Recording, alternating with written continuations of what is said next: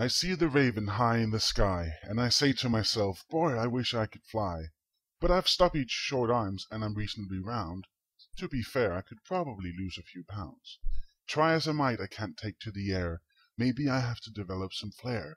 So I climbed a rock that I saw nearby. I'm not meant to fly, but damn I will try.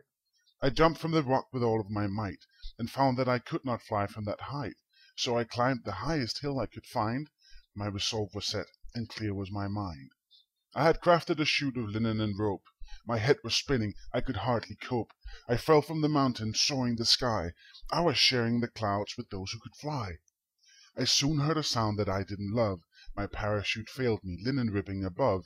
Suddenly I flew incredibly fast. Downwards, this wasn't going to last. I hit the ground with a mighty thud. I was hurt, my mouth oozing with blood. I lay there broken, helpless, alone. My life was leaving me, and was nearly gone. I was saved by a beautiful woman in white. She healed me after my unfortunate flight. As she turned to leave, I called out her name. Please lend me a hand, or I'll just try the same. Without a word she extended her arms, and my body was instantly filled with warmth. Suddenly my feet no more touched the ground. I was hovering midair, not making a sound. I ran through the village, shouting with glee, for the first time in my life really feeling free. Will I ever truly fly? I may not, or I might. But two feet off the ground, that's a moonkin in flight.